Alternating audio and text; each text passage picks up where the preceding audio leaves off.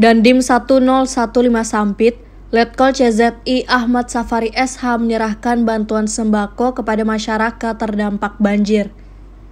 Penyerahan sembako bertempat di Desa Patai dan Desa Rubung Buyung, Kecamatan Cepaga, Kabupaten Kota Waringin Timur.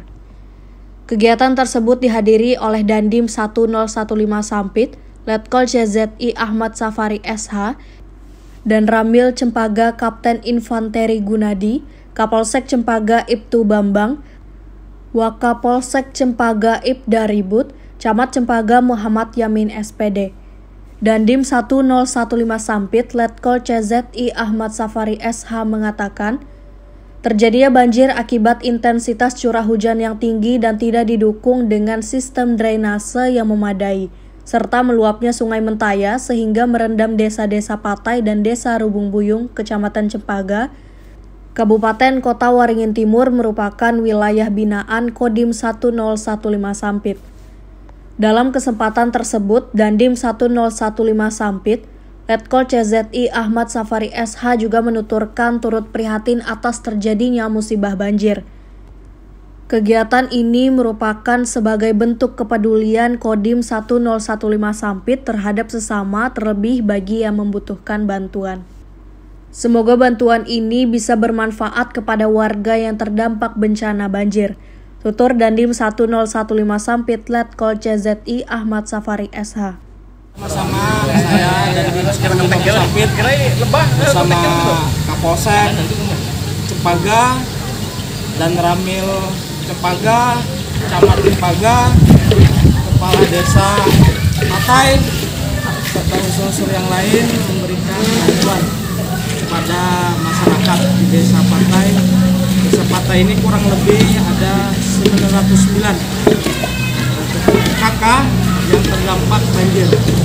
Alhamdulillah kita bisa melihat secara langsung bagaimana masyarakat yang terdampak banjir. Semoga bantuan yang kita berikan ini bermanfaat bagi masyarakat.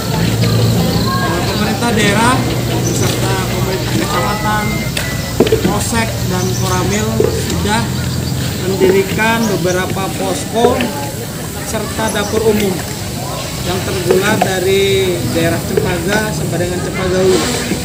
Jadi di Kabupaten Kepawaringin Timur ini yang terdampak dua kecamatan dengan total desa yang terdampak ada enam desa. Kita berharap semoga banjir cepat berlalu dan kita mengusahakan agar masyarakat tetap bisa mendapatkan kebutuhan pokok. Selesai.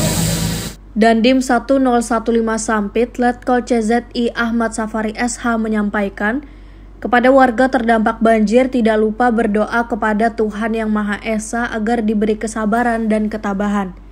Dan banjir ini cepat berlalu sehingga dapat beraktivitas seperti sedia kala. Ya. ya, terima kasih untuk Dandim yang telah memberikan bantuan untuk bantuan banjir untuk masyarakat Desa Patai yang mana memang memerlukan bantuan ini untuk pembuatan dapur umum. Terima kasih sekali lagi untuk Dandim dan anggota yang telah memberikan bantuan ini. Sementara itu, Camat Cempaga Muhammad Yamin SPD menyampaikan ucapan terima kasih atas kepedulian yang diberikan kepada warga yang terdampak banjir oleh Kodim 1015 Sampit. Bismillahirrahmanirrahim. Assalamualaikum warahmatullahi wabarakatuh.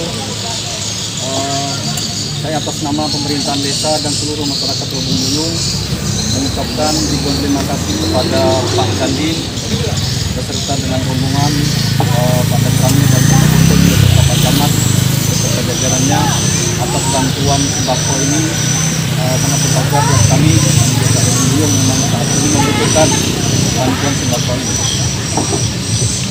Sekali lagi terima kasih. Pak bisa berkunjung ke desa kami terima kasih. Ini yang dapat saya sampaikan. Assalamualaikum warahmatullahi wabarakatuh. Semoga Allah Subhanahu wa taala membalas semua budi baik Kodim 1015 Sampit ucapnya.